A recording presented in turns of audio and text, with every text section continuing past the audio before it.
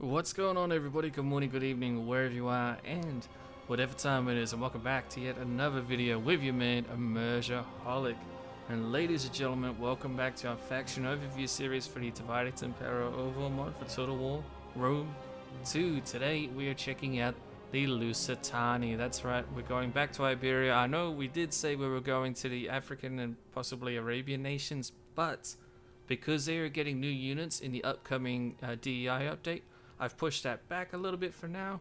So instead, for preparation for our head-to-head campaign that is coming on the channel very soon, in case you missed that announcement, your boy Immersaholic is going to be playing as the Lusitani against my good friend Toxborg playing as the Nervii. So in preparation for that, we will be checking out the Lusitani. So ladies and gentlemen, let's get right into it. First up, we are part of the Iberi culture, of course. We share the following perks with the Arevaci and the Edetani. We have the Horsemanship perk, which gives us plus one experience rank for all Cav units. And then we have the Devotio perk, which gives us increased attributes for all generals. First perk is nice, second perk I haven't really noticed to be all that noticeable in um, my Lusitani campaign so far, and in my other test campaigns, so I would kind of like this to maybe be a little bit more powerful or stand out a little bit more perhaps.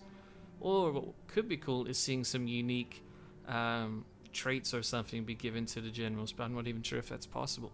Anyway though, moving forward to just the Lusitani buffs and debuffs, we have the attack and retreat buff which gives us increased army movement range. Could be a very powerful buff. Uh, it's always nice to have a lot of movement on your armies. It gives you a lot more options, especially when you need to outmaneuver the enemy. Uh, we then have the Mountain Fighters perk, which gives us increased morale in mountains and hills, which is perfect because Iberia is covered in all of those. And then we have the Rampant Outlaws debuff, which is a little bit harsh. It increases banditry, and banditry can be a very big problem, and it can cut into certain provinces if you don't manage it correctly. Um, and so basically, it can cut into your income very heavily for a random turn. It can even happen multiple times in a row, or it could also cut into your agriculture. So we do need to be careful about this increased banditry debuff. But anyway, now let's jump into the part one section of this video where we'll check out the situation for the Lusitani.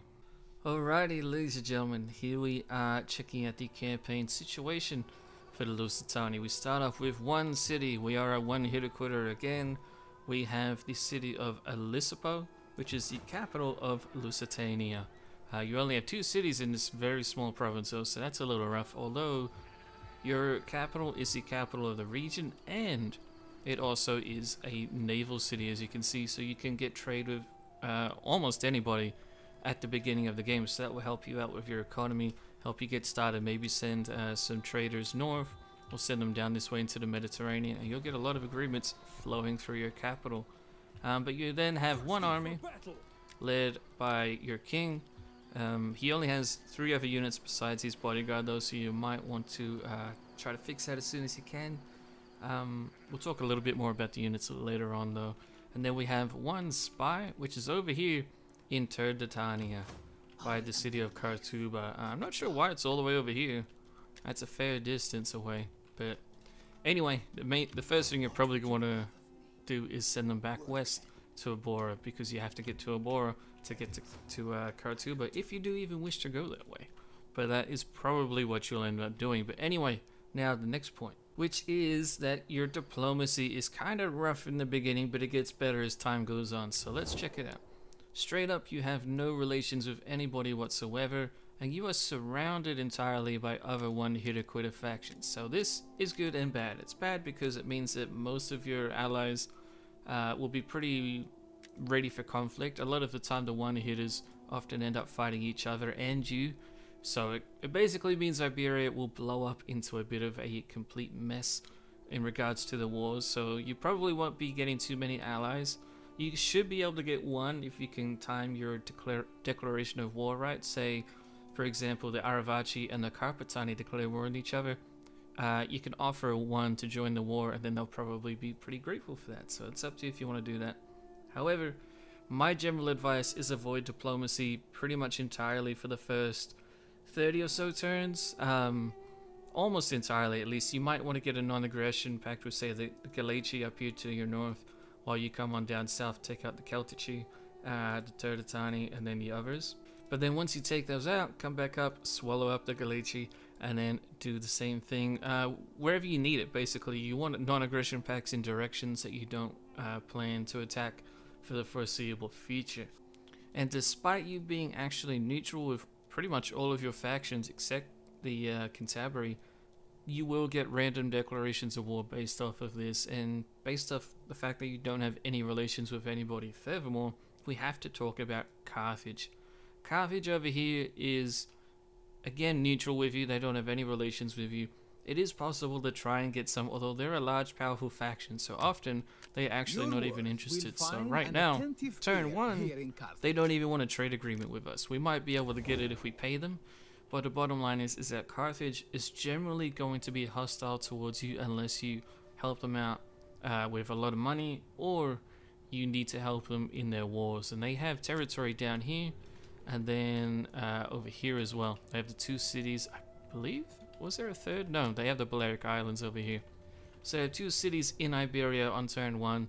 Then they have northern Morocco. And then uh, obviously they have the whole North African coastline just about. But we will talk a little bit more about how to handle Carthage and Rome later on. But I did just want to make you aware that early on, they're not all that friendly and they do have territory just a couple provinces away. So be very careful of that. Next up, your economy. Your economy is that of a barbarian, so it's going to be fairly low to mid tier. Um, however, you do have some pretty powerful provinces. Your first province sucks because you only have the two cities, although Ibora does have iron, so that's super useful. Use it to make money, get trade, and upgrade your units if you want. Uh, but then uh, the province of Baetica is actually fairly decent for agriculture, as is the province of, where is it? Of Hispania. Hispania is a massive province, it has four cities in it, it's very large. Um, three of which are coastal settlements, so Marcia, uh, Ars, and Ibossum. Numancia is an inland city up here, and it has copper. So you have quite a few resources available in the area. Um, but anyway, you do have copper and iron at the very least, so you can get your uh, trade economy going fairly quickly, especially if you do what I said send out like a single admiral to go get you some trade agreements uh, with people all throughout the Mediterranean. That will really help you uh, get your economy rolling there. But besides that, your agriculture is going to be trade based and agricultural based, probably. Unless you really want to try to specialize in industry, but that's up to you if you want to. I wouldn't recommend it, um, at least not in Iberia until you start expanding a little bit further. So the next major point is, of course, to talk about the population. The city of Aleppo has only 20,000 people on turn 1. 2,300 of which are warriors, 12,000 are freemen. This is actually decent. It's not too bad. A lot of your units early on come from the freeman class, such as these Lusitani light warriors, and you'll be wanting to use these guys a lot early on because they're actually very useful and they have guerrilla deployment. Uh, your axemen are warriors though, but I believe the rest of your units are all from uh, the freeman or the foreigners class. And that even includes your baggage trains, so yeah, it's not bad at all. Your mercenaries are different though. Um, they come from the elites. This is the Lus Lusitanian mercenary cav, so they should be elite. They're very good, very, very powerful. Um, then you have some foreigner units, so and a warrior unit. So basically, in your first 10 or so turns, population shouldn't be an issue at all. You should be able to recruit a full army, maybe even two, and go off, go north, or go to a Abora and go uh, east if you want to. However, it kind of has a bit of a domino effect after that. Whereas once you start taking these towns right here, basically any town in Iberia, even the ones held by Carthage, uh, Marcia, and then over here, I think it's Gadir is what it's called. Yeah. Uh, once you even take those cities, you will have massive amounts of population available because the majority of Iberia belongs to the Iberian culture. And so when you do take over these cities, a lot of them will uh, end up basically joining your armies, and you shouldn't really even have issues from public order because of that. Your culture should be the dominant one in the area, so the bottom line is, is that population shouldn't be a problem at all throughout your campaign, really. Uh, you really have to mismanage to kind of screw that up. So that really gives you a massive plus in terms of difficulty. And just a couple little points before we move on. Your king starts off quite old at 47. Um, that's fairly old for the time period. It means that he's not going to be making all that many kids either. So that is going to be a concern for you if you do want to um, get more heirs and whatever for your kingdom. Get him married as soon as possible, and then try to get uh, well, try to hope, I guess, that he gets busy and has some sons coming up uh, very soon. So hopefully you can get that going there. And then another thing to take into account is, of course, ambushes. Iberia is perfect for ambushes. There are abs- there's an insane amount of choke points everywhere. Right here is a choke point. Here, here, and then it's like it goes just all the way through all of Iberia. And then you have the uh, mountains up here, which can help deal with um, stopping the uh, other Celts and Gauls from coming in. The Romans who will end up coming in along the coastline as well. You have a really perfect defensive position. However, I really can't stress enough how much you will need to use ambushes to defeat the bigger factions like Carthage and Rome. Carthage, maybe not as much, but still it will help you massively, especially against their elephants. You'll be able to wipe them quickly. The Romans, you will have to use the ambush tactics as much as possible. Get your armies just on the edge of these forests. That's all you have to do. Move, Put them in the ambush stance, and immediately this unit has a 71% chance of getting an ambush. That's very high percentage means it probably will, in fact, get the ambush correct. And now it's actually 86% for some reason, so there you go. Not bad at all. Get those ambushes happening, and you'll be able to take on very elite armies from other people. However, ladies and gentlemen, that's kind of all I have to say about the campaign, at least before we start talking about hints and tips. Uh, you have a very small starting position, fairly simple. Your economy is going to be pretty meh, uh, but it can kind of steamroll and uh, grow into something that's going to be quite powerful, especially once you get all of Iberia, you get a lot of trade flowing. The main thing is that you need to be careful on when you end up fighting Carthage. I would really recommend you try to take on all of these other one hitter quitters first. All of these, these are all one hitter quitters. And then there's one up here, one over here. Take them all out first and then worry about smashing into Carthage. And then as you do, do that with Carthage, you can get some very good agreements with Rome. But anyway, that's about all I have to say in the campaign. We'll talk a little bit more about it in the part 3 section of this video, but now let's get into the part 2 section where we'll talk about the military of the Lusitani. Alrighty, ladies and gentlemen, here we are at the part 2 section of this video where we'll check out the military of the Lusitani. And here we are with one of our general's bodyguard units. Before we talk about him though, I will just once again unfortunately state we are not checking out the navy of the Lusitani.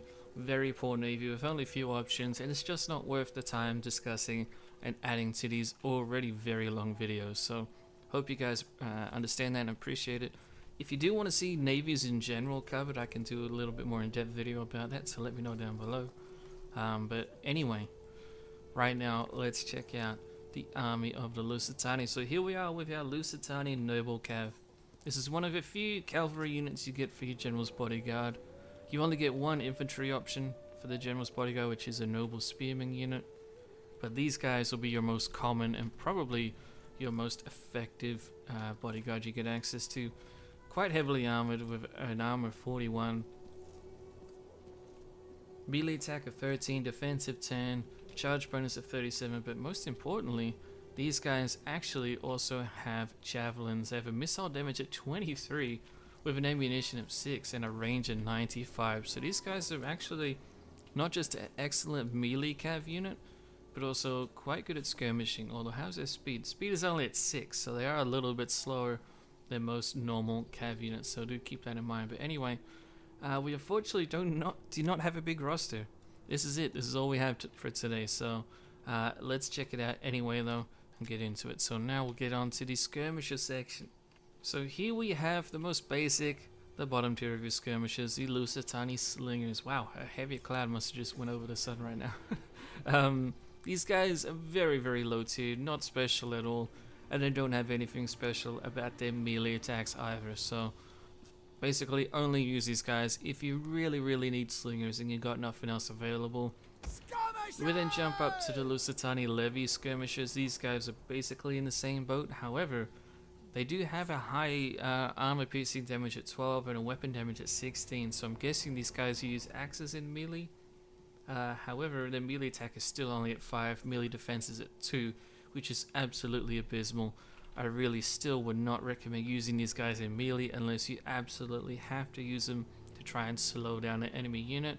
But since they don't have armor or the slingers by the way, uh, they'll both get cut down extremely fast. However, we then have the Lusitani ambushers. Now as you can see, these guys are very stealthy and actually fairly elite even almost. Um, they have good missile damage at 22 range and 95 which is nice. They have the stalk ability and the snipe ability.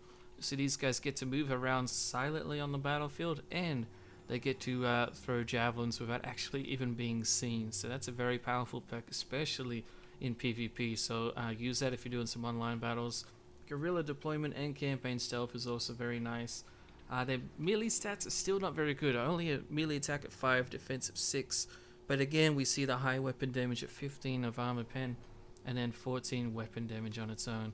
So uh, these guys will be very helpful for you to snipe enemy uh, important units like their generals, get behind them, and you can recharge them into the rear of uh, enemy units, especially like legionnaires. They'll get some kills, but not a lot.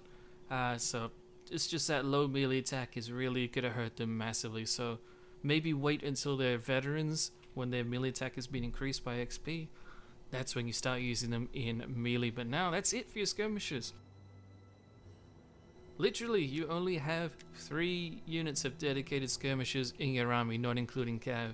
You do have good AOR units nearby that can help fulfill this though, such as the Balearic Slingers, they are absolute must-have for you. But one thing that is worth keeping in mind is that you have no archers, and you don't get access to them uh, in AOR or mercenary terms for quite a while. So hopefully you don't need to burn down any settlements because you won't be able to do that with skirmishes. You'll have to use other units to do so, which is going to suck for you. But anyway, now let's jump into the swordsman section, which is these units right here. So let's start off with the lowest tier unit that you have here and we'll work our way up, our way up to the highest. We have the Lusitani Light Infantry. These guys are 300 men per unit, an armor of 20, which isn't all that bad considering melee attack of 11, a defense of 7, and decent weapon damage of 26. No armor penetration really. Um, so these guys are basically your swarming units. Uh, they do have stealth capabilities, as you can see. They can hide in grass and um, shrubs, forest, and all that. Once you move them, though, they won't be hidden, so they don't have the stalk ability, unfortunately. They do have campaign and uh, campaign stealth and guerrilla deployment, so these guys will do a very nice early main battle line for you.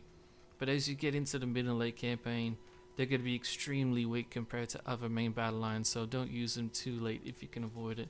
Use them as a flanking force, although they do come from the freeman population, so maybe you do want to use them and just use up that massive amount of pop that you should have with that.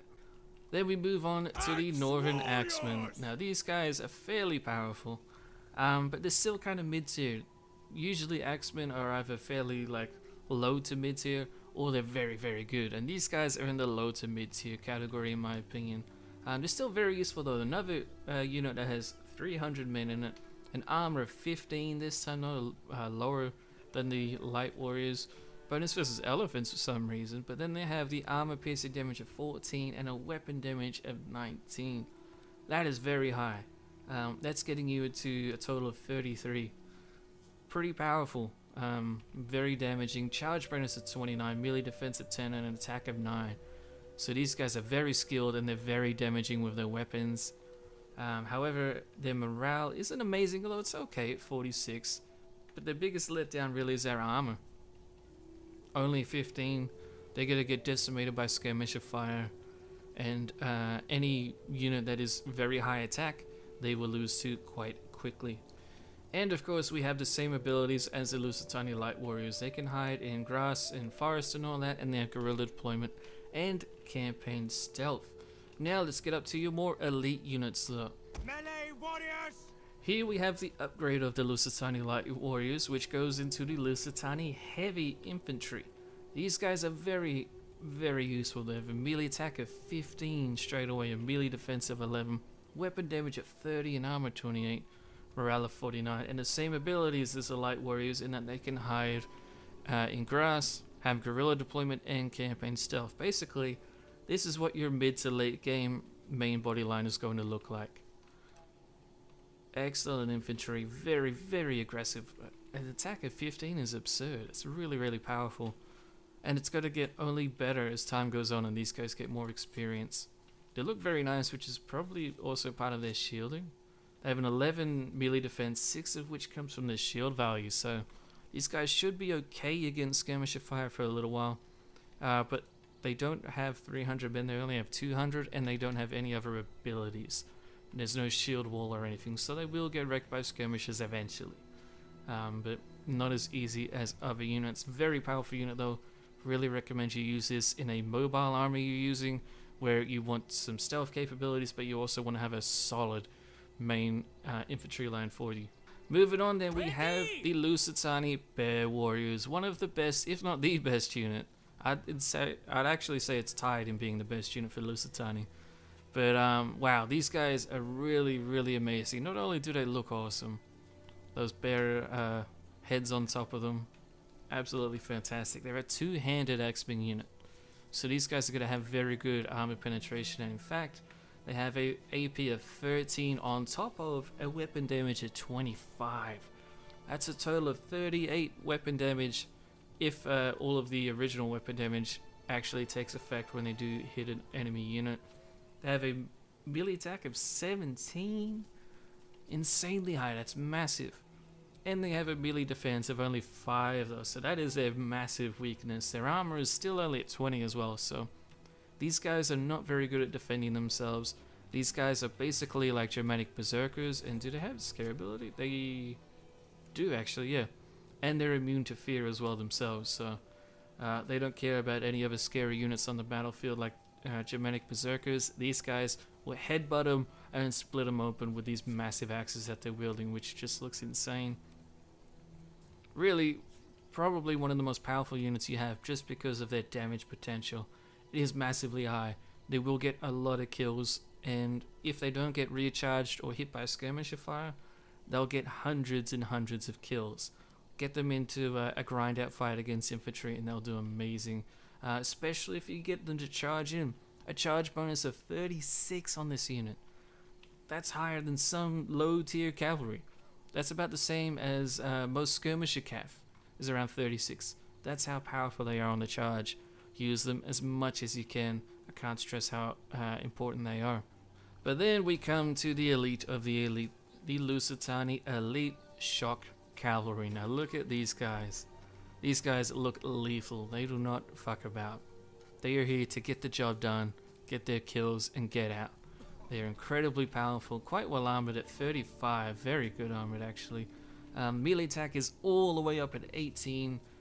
This is without any XP rating by the way, so that's going to skyrocket even faster. Give them 1 XP rank and they're up to 19. Melee defense is only at 9, which is still fairly low considering they're an elite unit, but it does mean that they'll be able to defend themselves a little bit. Charge bonus is only 19 though. Uh, that's a bit of a letdown for me. I would expect a unit called the Lusitania Elite Shock Infantry to be better on the charge, and so I'd actually like to see that be adjusted, even if it's in like the mid 20s, so it's not too powerful. That would be a little bit more understandable. But 19, I mean, I don't know. Let's compare that to our light infantry. The Lusitania light infantry you have a charge bonus of 18. And your elite shock cav have a charge bonus of 19. Now, charge bonus isn't everything for a shock unit, but it is a big part of it. And I would like to see that change, to be honest. But besides that, they have a very good weapon damage at 26, but they have almost no armor penetration. So, again, it's kind of conflicting for a shock unit. Usually, shock units have good armor penetration, so they can actually deal a lot of damage on the charge. Um, but these guys, they're using swords, which is why their um, armor piercing damage is not very high. And their regular damage is okay, 26, not bad. Um, gives you a total of 30 damage uh, if you add in the armor piercing. But yeah, uh, I would just like to see that uh, charge bonus get adjusted. Either that or the armor piercing damage. But I don't think you need more armor piercing. I would just like to see that charge bonus go up a little bit. Uh, and they do have stealth capabilities, by the way. Guerrilla deployment, campaign stealth. Uh, your bear warriors do not, but the Lusitani heavy infantry do. So, all of your units basically that are melee infantry have those stealth abilities, except for your bear warriors. But the bear warriors don't care. They're too tall and proud, and they're gonna come in and smash the opposition anyway. But that's it for your infantry. However, you do need to consider that you have a lot of AOR and mercenary units in Iberia that are good swordsmen. In fact, a lot of your armies will consist of main battle lines of those AOR units. Uh, I won't cover those units in a video like this. I'll do uh, others in the future talking more so about AOR units. But it's just worth considering. Don't uh, feel too bad about these swords being only at 5.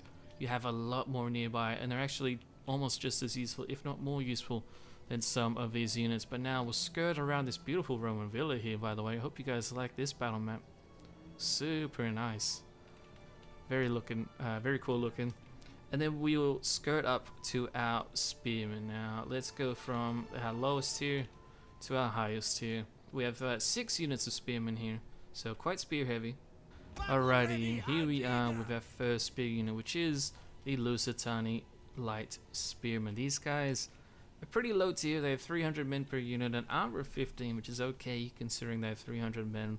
Um, but their melee stats are really not too impressive. An attack of 6 and a defense of 12.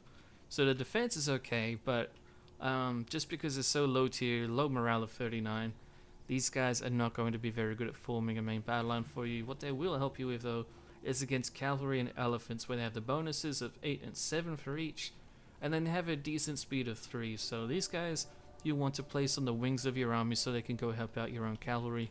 They have stealth abilities, of course, which is why they're hiding right here, but no stalk ability, so they will be spotted once they're moving in grass.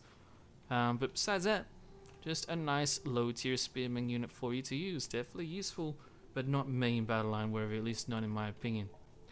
Then we upgrade to the Lusitani medium spears. Now these guys are very strong actually. Have only a melee attack of 7, which is their weakness. But then they bump all the way up to a melee defense of 17. That's very, very powerful. If we hover over over that, we'll see the shield. Shield value is at 7. That's very, very powerful. These guys will do very good against skirmisher fire. They have an armor 25 to help. Weapon damage a total of 26. And they have a bonus versus cav and elephants at 10. And again, we see the same stealth abilities as the other spearman unit we just checked out. These guys are looking very much almost like a 4x Greek 4x spearman unit. They're heavier than a Thurio spear, but lighter than a 4X, just about. Uh, they only have 200 men in their unit, though, and no other abilities, no uh, anti-cav abilities or anything like that, which is kind of a shame. I'd like to see one of these units have it, but none of your spears have any abilities, so that is a big shame. Big missed opportunity, but they look amazing. I mean, like, wow, look at that crest on that dude. That lion, or is that a cat or a cougar? I can't even tell. It looks scary, though, no matter what. Looking incredible, very high res. Looks amazing. then we move on to the Lusitani Armored Spears. Now these guys are a step up in just about every single way. Um, and if we compare them side by side, yeah, that's basically all they are. They're just an upgrade in just about every single way. They have an armor 28 compared to 25 on the medium spears. Melee defense of 18, attack of 9, uh, bonus versus Cavan Elephants of 14, these guys are fantastic spears. Uh, put them in a melee grind out against another sword unit, and they will do decent against like low to mid tier units. You obviously don't want them fighting in your entire main battle line though. Keep them on the wings, support your camp with them, or uh, have them in like a second line maybe where it's smaller. You only have a few of these units, but they can come in, plug holes in your main battle line until you get help with uh, some proper swordsmen. But wow, just look at their armor. Looking very nice. Your boy over here's got these pony ponytails ready. He's ready to rock. uh, they got helmets, nice shields. Just an excellent unit. Um, but yeah, not really too much to say except everything I said for the medium spears. Except these guys are just better in every single way. So try to get them when you can. Population uh, allowing it to do so, of course. Then we move on to the Lusitani Veteran Warriors. Now these guys are technically a bit of a step down from the last unit we just talked about. However, I thought I would put them up here because they have 300 men in a unit and they're still fantastic. They have an attack of 8, defense of 16, weapon damage at 28 in total, uh, bonus versus Cavan Elephants at 12, an armor of 20, and a base morale of 52. And they have all of the usual stealth abilities that the Lusitani have as well.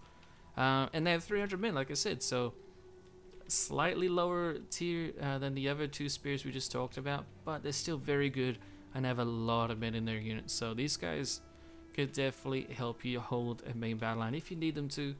But again, the main way these spears are going to excel is in fighting cavalry. Uh, but you could form a main battle line with them if you really wanted and have your bear warriors and axemen go around the flanks and annihilate the enemy. But be quick, because armor 20 isn't going to buy you a lot of time. Then we move up to the Galici medium infantry. Now this is a very interesting unit. Uh, obviously they're very influenced by the Galici, which is basically one of the Celtiberian factions to your north. Looking absolutely insane, very impeccable. All of the stealth capabilities of all the other units. Um, they have very good weapon damage at 28 in total, which is pretty solid, considering they're a spear unit. Attack of 8, uh, defense of 16, but they have an armor of 28, which is very impressive base morale of 46. Um, just again, we're, we're basically going up the ladder here, just a few stats at a time, and these guys are up there for sure. Um, how are they compared to this other unit though? I guess the um, the what you call it? What's the name of this unit again? The Lusitani armored spears would technically be ahead. Yeah, I guess it would be. So perhaps I should have swapped the armored spearmen and the Galich and uh, these guys around, but that's okay. These guys are still a fantastic unit. They're not the most elite you get access to, but um, I would definitely rate them as a high tier barbarian spearman unit. You have a lot of spears available to you as a Lusitani, which is good, but it's also a bit of a shame because you don't need that many. You only need to have like three options, just about, and here we have six, most of which end up basically nullifying use of the others. So as you upgrade your barracks and buildings and you get access to these guys, you're not really going to need them all that much unless you need them due to population reasons. Um, but anyway, moving on from the Galicia unit, we move on to the Lusitani Noble unit. This is the only General's Bodyguard you get access to that's infantry. Armor 38, melee attack of 9, defensive 18, total weapon damage 28, and a bonus versus cavalry elephants at 14. These guys are the elite of the elite for your spearmen. Very solid spear unit. Again, we're just seeing some amazing designs on the uh, uniforms, the weapons, the shields. Like, look at how so many of these shields are different. It's just it just blows my mind. Um, but these guys are also uh, able to use stealth, stealth capabilities like all of these other units. But yet again, no stalk ability, so be careful if you start moving them in open ground. They will uh, get caught out and spotted. But that's it for your infantry. Not a massive amount. You have some decent variety in swords and in spears, but but considering you'll be fighting Carthage and uh, Rome in your campaign, at least you should be, that's when you're going to be seeing that you really don't have much variety at all. So it kind of depends on who you're going up against. And obviously your skirmishes are a massive issue for you. Alright, we're almost done. Now let's get into our cavalry and then we have the verdict section. So now we have the Lusitani light cavalry. Very light tier, uh, low tier uh, skirmisher cavalry unit. Although they're actually pretty good in melee, attack of 13, defense of 12. Their only main issue really is an armor of 13, which is pretty pathetic.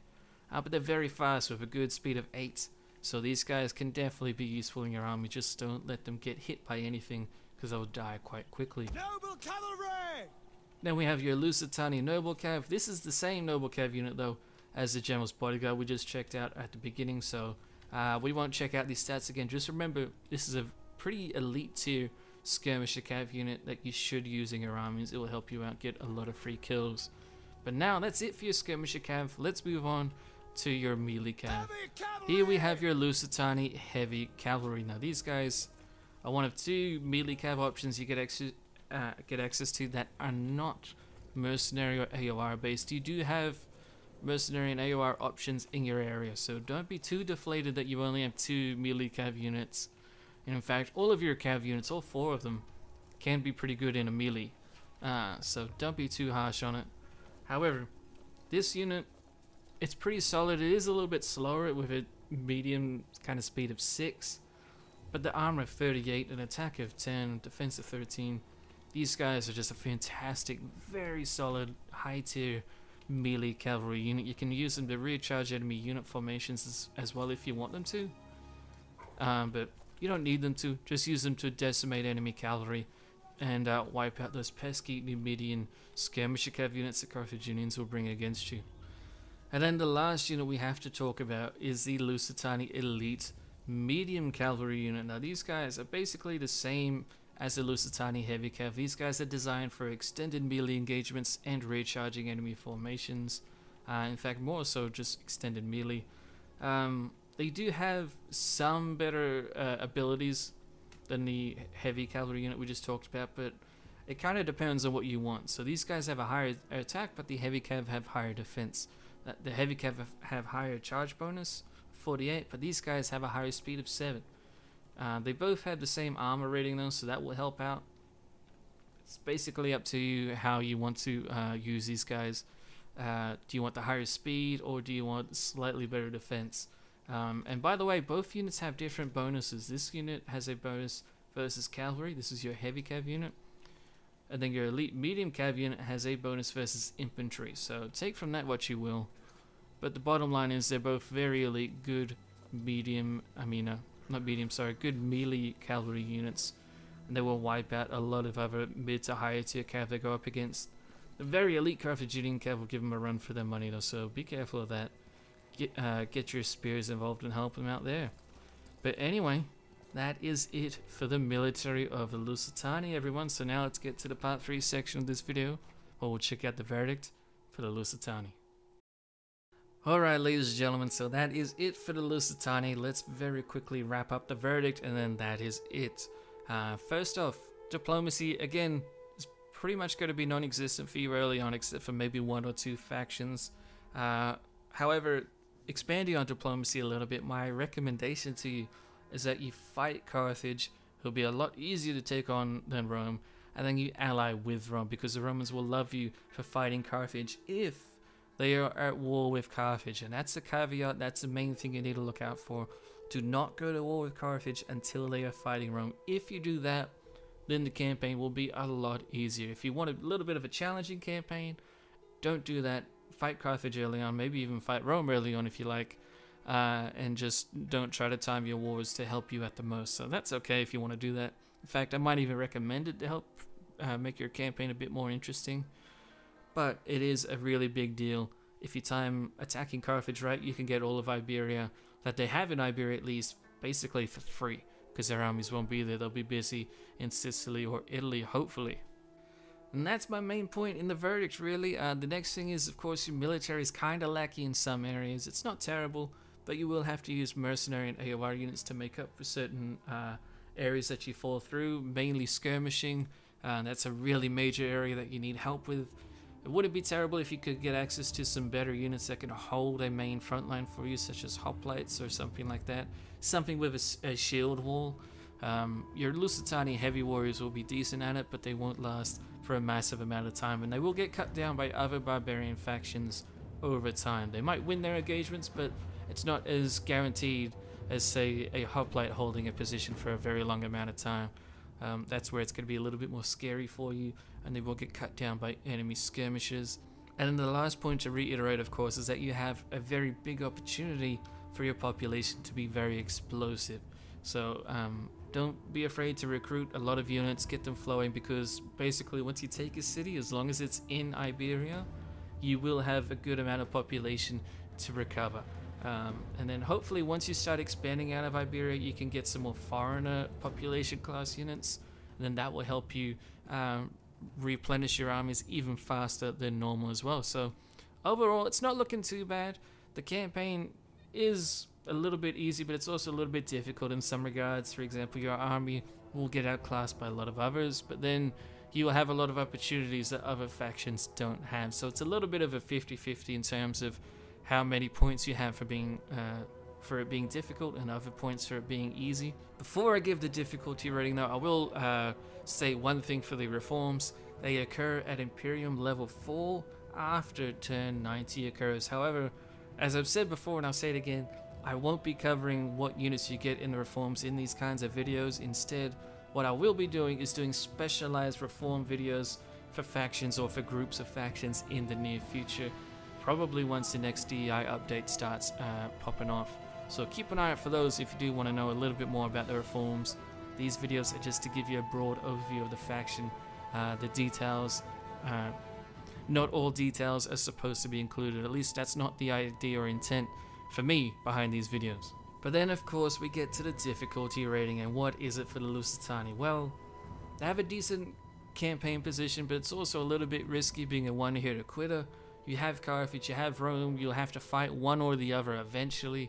It is going to be a little bit rough later on or in the mid game because of that. So when I take everything into account, in my opinion, this is a pretty solid 5 out of 10. It's an average campaign. You have some tough stuff to deal with, but then you have some easy stuff that gives you a really big break. For example, the population is a massive one that helps you out a lot in your campaigns. Um, just don't abuse it too much. Try not to uh, waste too many units because if you do that, no matter how many pops you have, you can run out eventually and it will cause you massive issues. But yeah, 5 out of 10. Lusitania are a solid faction. A lot of fun. Uh, maybe seeing another extra unit or two to make them a little bit more unique would be fun. Uh, at least to contrast them against the other Iberians. But then you do have to keep into account that the Lusitania have a lot of uh, Iberian AOR units nearby, so that does help diversify the roster anyway. Uh, but anyway, ladies and gentlemen, be sure to uh, check out the channel in the very near future. We will start uploading the head-to-head -head campaign where I'll be playing as the Lusitania, so keep a good eye out for that. Discord link is down below if you want the latest information on what's going on with me in the channel and on when videos are being uploaded. Uh, but anyway, thank you all so much for watching. I hope you guys enjoyed, and I shall see you in the next one.